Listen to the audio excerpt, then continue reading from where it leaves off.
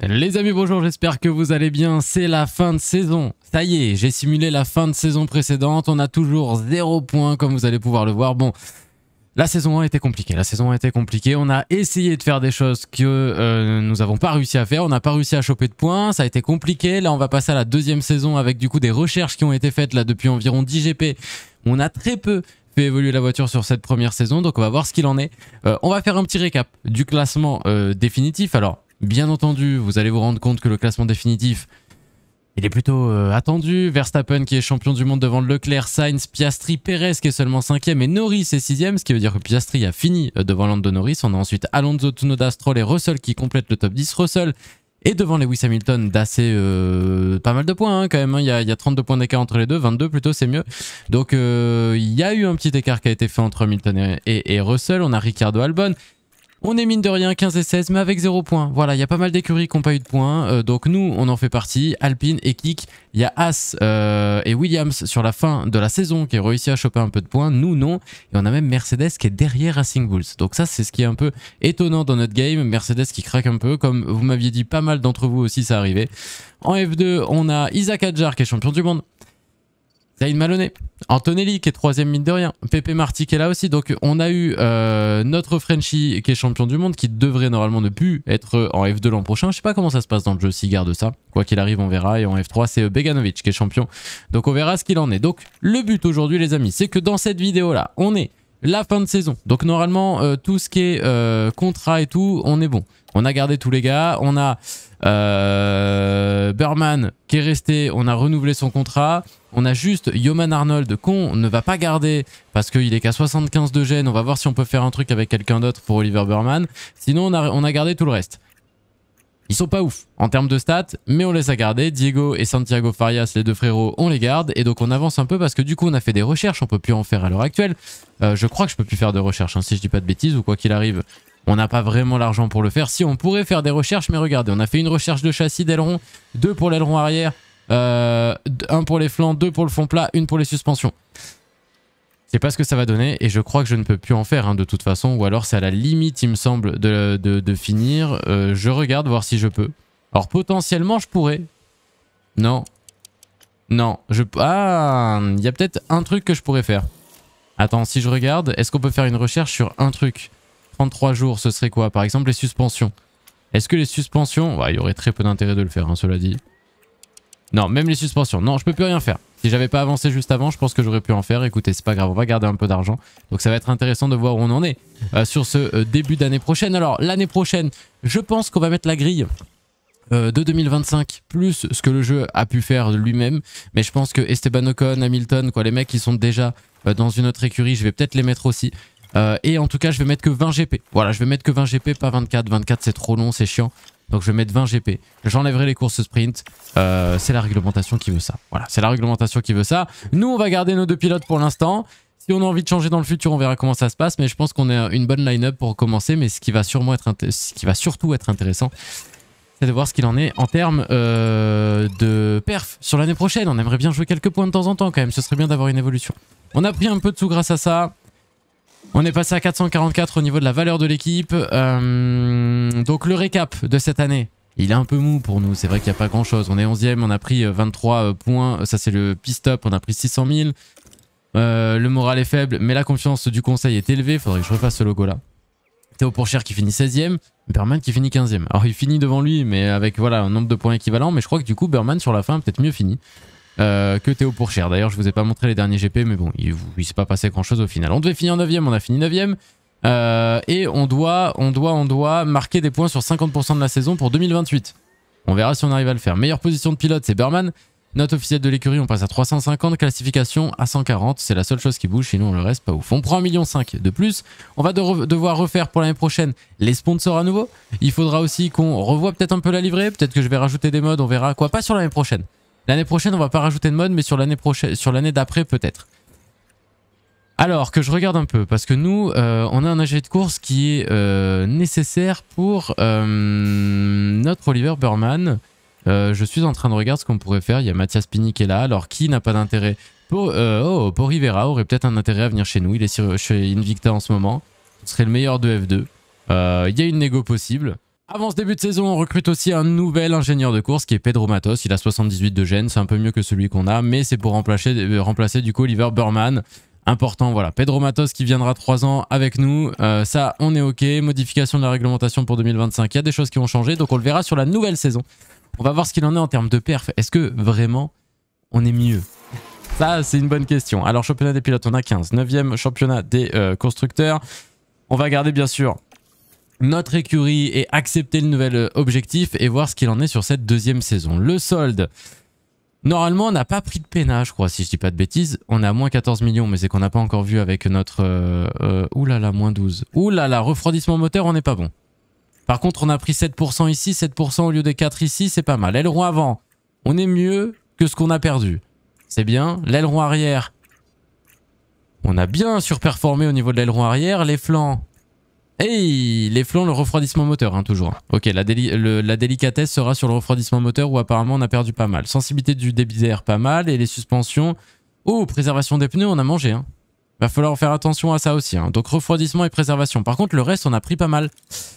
Il euh, y a peut-être possibilité qu'on ait un peu amélioré tout ça, ce serait cool. Fabricant, on reste chez Mercedes une année de plus et on verra sur l'année d'après si on change quelque chose. C'est-à-dire sur l'année sur 2026, vu qu'il y a le changement de réglementation euh, sur euh, la nouvelle année, sur tout ce qui va avec, on verra tout ça. Oliver Berman 78, Théo Pourchère 82. On est d'accord là-dessus. Développement des pièces gelées. On va juste regarder au niveau de tout ça qu'est-ce qu'il nous propose. Performance de l'équipe des stands qui a perdu un peu, ça on verra. La TR, bien entendu, on va devoir remettre un petit peu euh, de, de, l'usine et le développement en route. Et développement du pilote, on a euh, pour Cher qui a pris un peu, pareil pour Berman qui a pris deux en réactivité, c'est pas si mal. On va aller au niveau du sponsor, et là ce qu'on va faire c'est qu'on va prendre vraiment le sponsor qui donne le plus. Euh, le premier en anticipé qui donne beaucoup, c'est Cisco. Donc on va partir là-dessus. Cisco après on va en prendre pas mal aussi, qui, qui, donne beaucoup aussi en jour de course, j'aime bien l'idée. Microsoft il donne pas mal là-dessus, ça oui jour de course, par exemple, G-Fuel et Saudi Aramco donnent pas mal, donc on va partir là-dessus. Et en anticipé qui donne aussi Apple. Hein. Apple, c'est pas mal. Et si on peut en prendre un autre, on va mettre sur du... Euh, là, ça donne un peu tout. Regarde, 3 millions, 3 millions aussi. C'est pas mal pour Hugo Boss. Voilà. Après, ça, faudrait que je les change un peu. Mais le problème, c'est que quand je les change, ça change aussi ma carrière Twitch. Donc, du coup, c'est vrai que je reste un peu sur les mêmes sur les deux premières années des deux côtés. Et après, on changera sur la troisième. Je pense je mettrai d'autres choses, quoi qu'il arrive. Parce qu'il y aura pas mal de choses qui changeront ensuite. Euh, effet sponsor facultatif. Oh non, j'aime pas ça, par contre. Attends, j'avais pas vu ça. Ah non, apparition hors course x1. Bon, ça va. C'est qu'une fois. Donc il y a un GP où on va avoir un souci avec, euh, avec, euh, avec Théo Pourchère, mais ce sera pas fou non plus. Ok. Nous sommes de retour, messieurs, du coup. Alors pour vous, pas longtemps après, pour moi un petit peu, parce que j'ai modifié deux trois trucs. J'ai modifié la livrée, j'ai modifié un peu le calendrier pour vous montrer tout ce qu'on allait faire à ce niveau-là. Donc voilà, on va repartir sur cette nouvelle saison avec une grille aussi. Alors il y a eu beaucoup de transferts que j'ai bien aimés. Et il y en a certains que j'ai euh, modifié moi-même pour qu'on reparte sur une grille intéressante en 2025. Parce qu'en fait, le jeu, je sais pas si vous, ça vous le fait aussi. Il fait des, fois n'importe quoi. Genre, il y a eu un peu des trucs euh, un peu nimp et je voulais pas que ça ruine notre saison. Donc, je vais vous montrer la grille qui me hype énormément sur ce début de saison. Est-ce que vous êtes prêts, messieurs? Nous avons du coup, sur cette nouvelle grille, regardez, Max Verstappen. Toujours chez Red Bull. Ça ne change pas. Avec Charles Leclerc chez FFP, Piastri chez McLaren, ça ne change pas non plus. Lando Norris euh, chez McLaren, euh, Alonso est chez Aston Martin, Yuki Tsunoda est chez Red Bull. Voilà, George Russell est chez Merco, Hamilton est chez Fefe bien entendu, Albon est chez Merco, cool aussi. Hülkenberg est chez Kik, euh, Berman et Pourcher euh, toujours chez nous, Logan Sargent est viré, Pierre Gasly est toujours chez Alpine, Magnussen et Esteban Ocon sont chez As, Bottas est viré aussi, Joe est chez Aston Martin, ça je l'ai pas choisi, Zayn Maloney chez Williams je l'ai pas choisi, Polaron, ils m'ont ils m'ont viré ils m'ont pris mon Polaron Kick. Ouais ouais, rappelez-vous, je l'avais chez moi, ils me l'ont pris. Euh, Carlos Sainz est chez Williams. Et là, on a un petit Red Bull Liam Lawson, Isaac Adjar chez Visa Kachap que j'aime bien. Et le petit Victor aussi chez Alpine. Alors là, j'avoue, c'est moi qui l'ai rajouté parce qu'ils avaient foutu je ne sais plus qui Bottas, je crois. J'ai dit Bottas, vas-y, fin de carrière. Bottas, fin de carrière, va-t'en. Euh, euh, vu que, voilà, on a mis Victor Martin, Isaac Adjar qui est champion et chez Red Bull. Donc j'aime bien l'idée, voilà, dites-moi ce que vous en pensez. En tout cas, la line-up est cool. Écoute, j'ai modifié que trois trucs. J'ai juste mis chez Ocon, chez As. Euh, j'ai mis euh, Isaac Adjar chez euh, euh, Visa Cash App, étant donné qu'il est champion, bah sinon bah, il faisait rien, c'est un peu con. Et Victor Martins. Voilà les trois que j'ai changés, sinon ils ont fait tout ça eux-mêmes. Donc c'est trop cool. Et Yuki du coup aussi. Yuki qui, évidemment, vu qu'il y avait déjà Lawson et Yuki chez, chez Red Bull, j'ai dû mettre Tsunoda chez Red Bull pour libérer de la place et j'ai viré Sergio Perez. Parce qu'on en a marre de Sergio Perez. Voilà, tout simplement. Donc voilà pour ça, vous me direz ce que vous en pensez, bien entendu. Et le calendrier, il y a 20 GP, il n'y a pas de course sprint, etc. Euh, sinon, rien n'a changé. Et là, on va voir au niveau des perfs où on en est? Bien entendu, au niveau des perfs, je ne change absolument rien parce que sinon le but du jeu est complètement niqué. Je ne touche pas dans tout ce qui est perf. On n'est pas sur la game Twitch. Hein. La game Twitch, on peut changer pas mal de trucs. Là, en revanche, ici, on ne change absolument rien sur les perfs. Donc on va, on va voir si on a des trucs. Euh, il faut que je fasse juste le programme d'entraînement, je crois, pour que tout soit à jour. Donc normalement, c'est OK. Euh, Qu'est-ce qu'on va leur mettre? On va, enlever les erreurs, je pense. Non, il faut qu'on améliore encore la durée des arrêts. Euh, mix avec aussi un petit peu tout ce qui va être euh, les erreurs potentielles. Ouais, quand même. On va éviter les erreurs potentielles. C'est quand le prochain GP C'est dans 57 jours. Ah oui, mais là, on peut maxer le truc, là, du coup. Oui, oui, oui. Alors, attends, attends, attends. Parce que là, là le- les mecs, ils allaient se reposer. Mais non, vous allez pas vous reposer. On va, on va enlever un peu les erreurs. Parce que les erreurs, le problème, vraiment, 10%, c'est énorme. 10%, c'est énorme. On peut vite se faire avoir. Euh, on va quand même faire un peu d'entraînement à la salle aussi. Alors, j'aurais pu varier les plaisirs, mettre un peu des deux à chaque fois, c'est vrai. J'aurais pu aussi faire ça. J'aimerais bien passer sous les 2 secondes 5, je t'avoue. Euh... Si on peut faire ça, c'est cool. 2 secondes 5, 2 secondes 5. Là, en cumulatif, on a combien? 27 secondes d'arrêt. Bon, ça, on s'en fout. On sait que ça va changer après quand ils vont être reposés. Là, on va défoncer ça pour que potentiellement il soit un peu plus rapide. On sera à 2 secondes 5, c'est bien. Bon, après, ils sont épuisés, mais ils auront le temps de se reposer. On va confirmer ça, ils auront le temps de se reposer. On va passer un jour à peine. Euh, non, non, faut que je fasse du développement, je suis un fou. Ouh là là là là là. Oh, pourquoi ils sont pas bien là? Alors, au niveau de la caisse, on en est où? Oh, 15, 17. Ah, ça a pas changé sur l'an dernier, j'ai l'impression. À part en grande vitesse, là, regardez, on est 9ème. Les perfs qu'on a fait, mais c'est pas mal. On est 15ème et 16ème. Euh, vitesse max, ok, ok, je regarde un peu tout ça. Bon, il y a peut-être des améliorations à faire, pourquoi pas. Mais on n'est pas dernier. Euh, 17ème en VMAX, 13ème, 9ème en grande vitesse, 11ème en préservation des pneus. Euh, Il y a peut-être moyen de faire un truc à un moment donné en vrai. hein. Il y aura peut-être, par contre, refroidissement moteur, ce qu'on avait vu, c'est qu'on était éclaté. Et bah écoutez, euh, voilà la compo, vous la voyez mieux ici.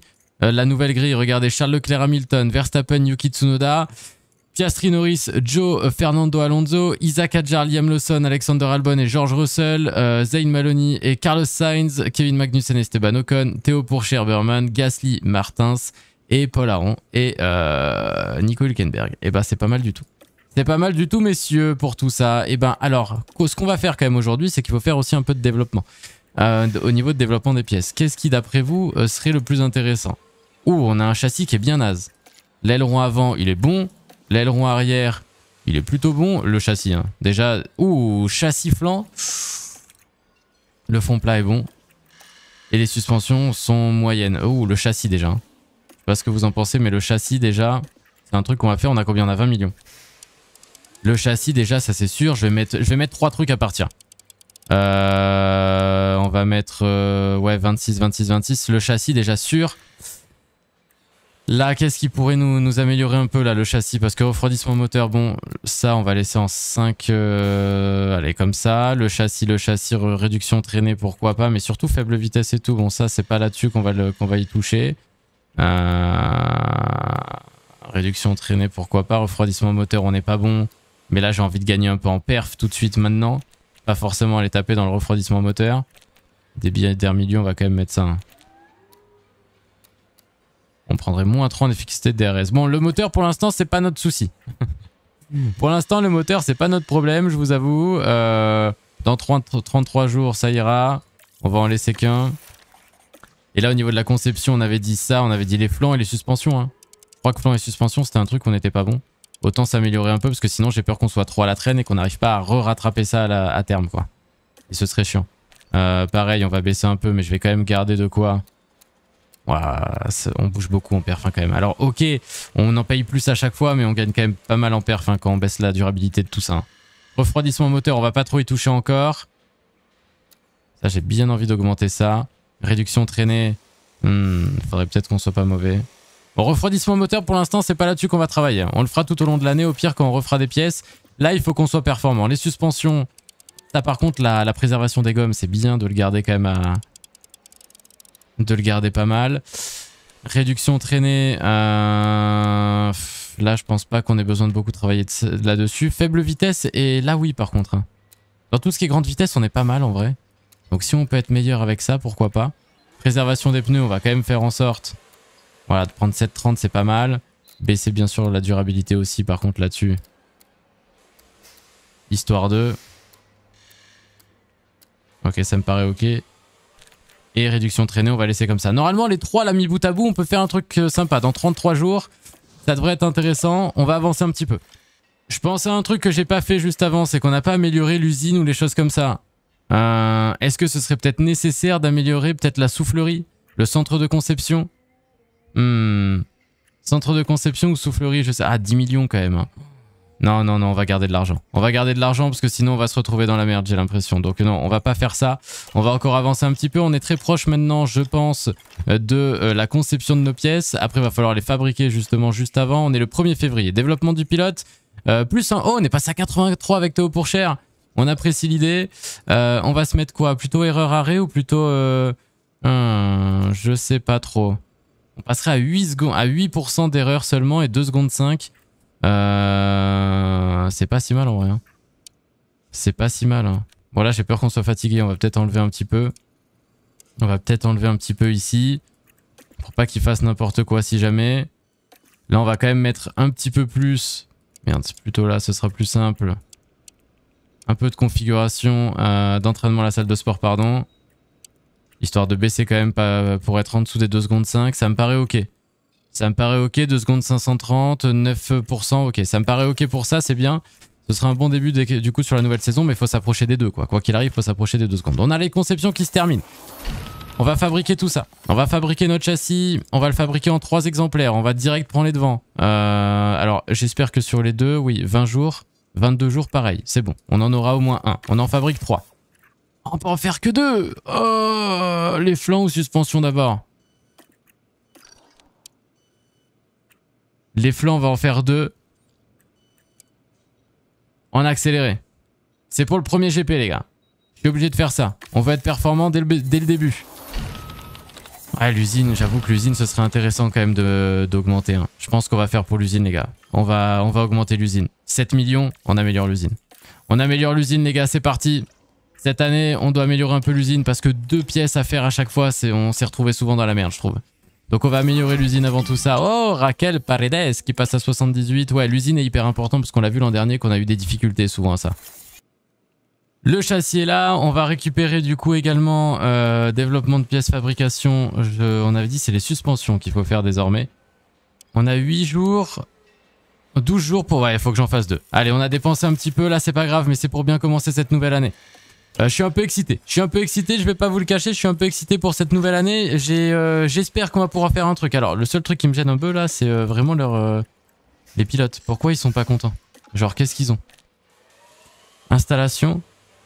À rejoindre le personnel Samuel Sharp. Ah oui, parce qu'attendez, je vous ai pas dit. En fait, vu que j'avais attendu la fin de saison, mais en fait, j'ai fait, une bêtise, je crois, avec Pedro Matos.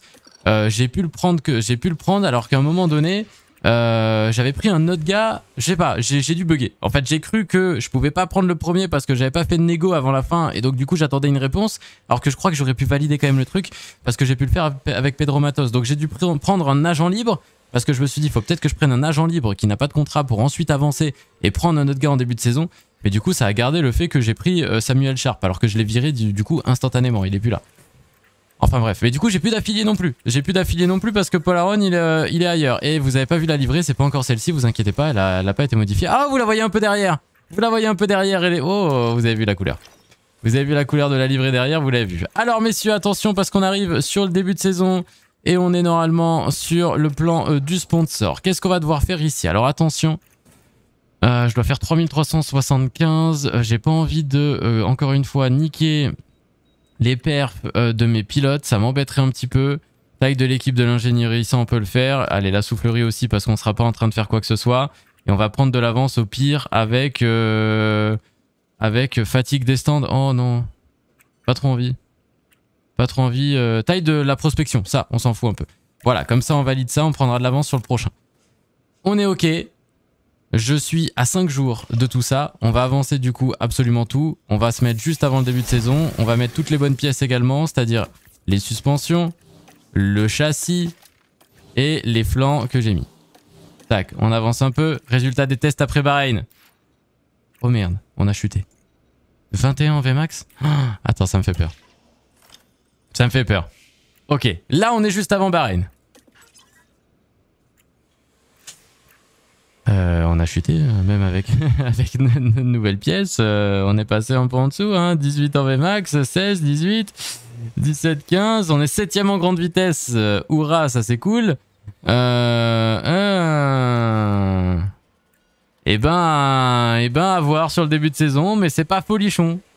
C'est pas fou fou à voir sur le début de saison, mais je t'avoue que c'est pas fou. Là, on a perdu un peu par rapport à juste avant. Alors pourtant, on a, on a mis des nouvelles, pièces, mais le problème c'est qu'on a amélioré. En fait, là, on était trop en retard. Je pense que ce qui fera vraiment les gaps, c'est quand on va améliorer après le fond plat, les, les, choses comme ça, aileron arrière, etc. Bon, quoi qu'il arrive, on part pas de dernier.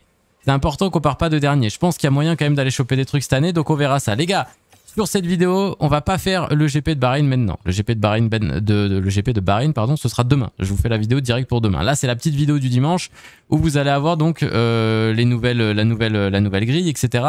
Et euh, le nouveau calendrier. Alors, je vais vous le montrer. Le calendrier ne change pas au niveau du, on va dire des, euh, des courses. En revanche, euh, alors ça on le verra pas parce qu'il y en a qui sont bloqués, mais euh, il y en a certains que j'ai pas mis. Alors là ils apparaissent ici. Je sais pas si c'est normal qu'ils apparaissent ici ou pas, mais normalement ils y sont pas dans tous les cas. Donc on verra, mais normalement non, ils y sont pas. J'en ai viré 4 J'en ai viré 4 histoire de, pas s'embêter, mais j'ai l'impression qu'il y en a encore. Faut que je regarde. J'ai l'impression que ça n'a pas été pris en compte. Bon quoi qu'il arrive, on va regarder ça.